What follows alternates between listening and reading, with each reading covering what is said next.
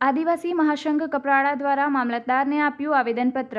આજરોજ કપરાડા મામલતદાર કચેરી ખાતે આવક અને જાતિના પ્રમાણપત્રો માટે વિદ્યાર્થીઓ, વાલીઓને વારંવાર કચેરીના ધક્કાઓ ખાવા પડે છે. તેમજ દાખલાઓ કાઢવા માટેની પ્રક્રિયામાં ઘણી વિસંગતતા છે. સ્ટેમ્પ પેપર કાઢવા માટેનો સમય પણ મર્યાદિત કરેલો હોય, દૂર દૂરના ગામોથી આવતા વિદ્યાર્થીઓ, વાલીઓને ઘણી તકલીફો પડતી હોય છે.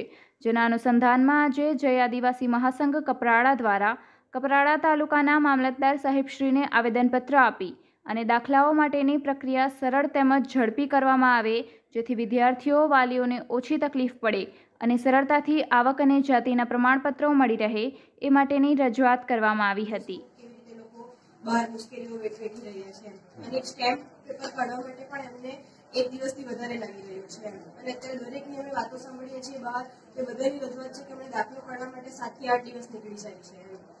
તો આપ સાહેબને મારી વિનંતી છે કે આ મેટ્રો પર તમે ધ્યાન આપો. અને બધા જેટલા પણ છે બધા બધાની આ સમસ્યા છે કે આ વિદ્યાર્થીઓનું શું હોય. વિશેષ? વિશેષ અમુક જમીન જમીનો હોય ને અમુકના નામે નિપન એ બધું અમે જોઈ લઈએ છીએ. સરકારમાંથી એક એફિડેવિટ આવે છે આજરોજ આદિવાસી મહાસંઘ દ્વારા મામલતદાર સાહેબશ્રીને આવેદનપત્ર આપવામાં આવ્યું છે કે કપરાડા તાલુકાના અંતરિયાળ વિસ્તારોમાં જ્યાં વિદ્યાર્થીઓના જાતિ આવકના દાખલા માટે ખૂબ જ મુશ્કેલી પડી રહી છે.